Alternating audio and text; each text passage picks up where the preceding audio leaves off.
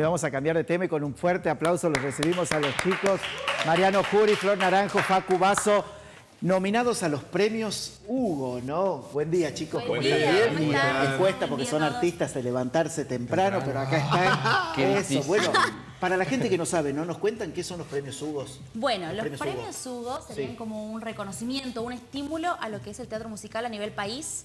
este, ¿Es bueno, la primera vez que se está haciendo esto federal? O, o- ya No. se- No, ya no, se tiene, tiene una, Sí, tiene una sí, aspiración tiene, federal. tiene un tiempo por cuestiones de, de pandemia también.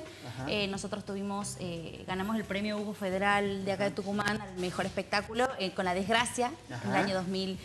Por el año 2019, pero lo, Sí. lo dijeron creo que el año 20 2020. Por Ajá. pandemia no se hizo, entonces fue como eh, a nivel Como online. a nivel online. Ahí Así está es. Facundo, uno de los, nominados, eh, en- pero con esta obra, No lo quiero ya, ¿no? Claro, ahora estamos nominados por Lo Quiero Ya. Lo quiero ya. Bueno, con Facu, contanos este personaje que es. Mi personaje, mi personaje Sí. es un mago.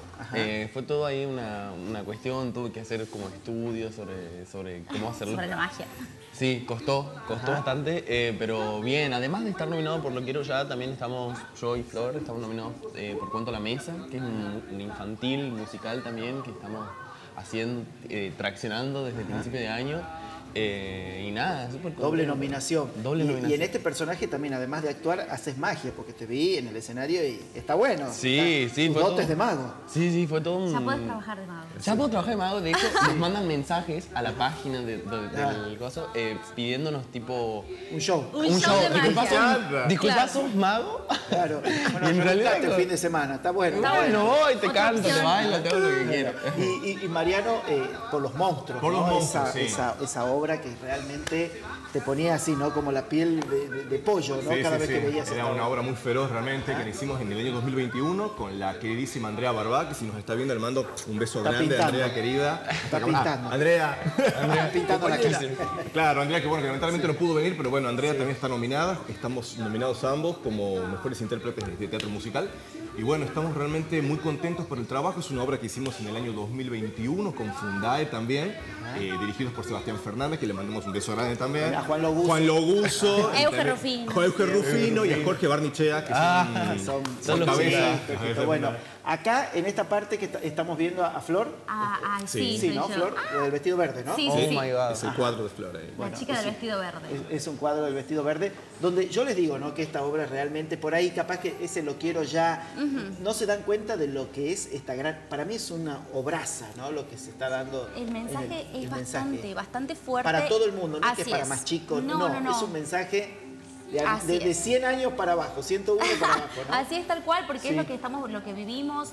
Cada personaje tiene una historia en la cual uno se siente identificado y es muy fuerte también eh, poder eh, contar este tipo de historias mediante el baile, el canto eh, y haciendo una, una buena performance narrativa de, lo- de todo lo que significa.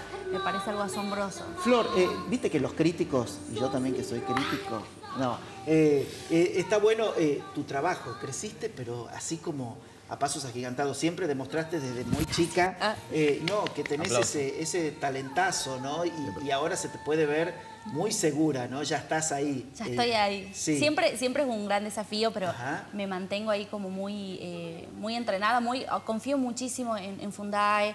en- Yo te descubrí en Tina, por ejemplo. Claro, yo Ajá. ahí, este, ahí comenzó eh, mi Ajá, vida de teatro ahí- musical. ahí comenzaste Claro. Ah. yo estudiaba otra cosa y fue como el 2016 un, un cambio de, de vida y vino con el casting de Tina, vino con eh, mi ingreso a Yapó, la Escuela de Teatro Musical, con mi ingreso a la Facultad de Artes, vino todo y dije, bueno, esto es lo que tengo que seguir.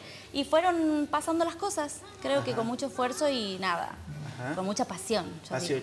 Y, y- y vos, Facu, ¿bien? Bien, también, ahora sí, como también viendo a Flor, o sea, Sí. salimos de función y es como la chica de vestido verde, la amé, siempre, siempre es así como, Y- pero nada. Y, y- y al- y al muchacho de la remera roja también. Y al ¿no? muchacho de la remera roja Al también. mago, Ahí Creciste que lo contratan. ¿no? Y también eh, por otras ramas, ¿no? De- Sí, sí, además sí. que eh, la danza. Sí, ahora estamos en la danza, estoy trabajando en el ballet estable y como que fui como viendo por dónde, por dónde o sea, como metiéndole a todas las, a, a todas las partes que tiene el teatro musical, ¿no? Eh, estudié en la facultad, también eh, estudié también en Chapó, Escuela de Teatro Musical, y después como que me estoy metiendo a la danza. así que- Lindo, lindo.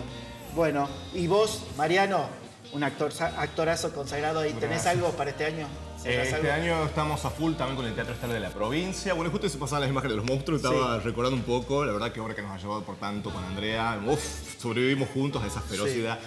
Este año estamos a full también con el Teatro Estatal de la provincia, este, obras con Martín Ginero, un autor consagrado acá de Tucumán también.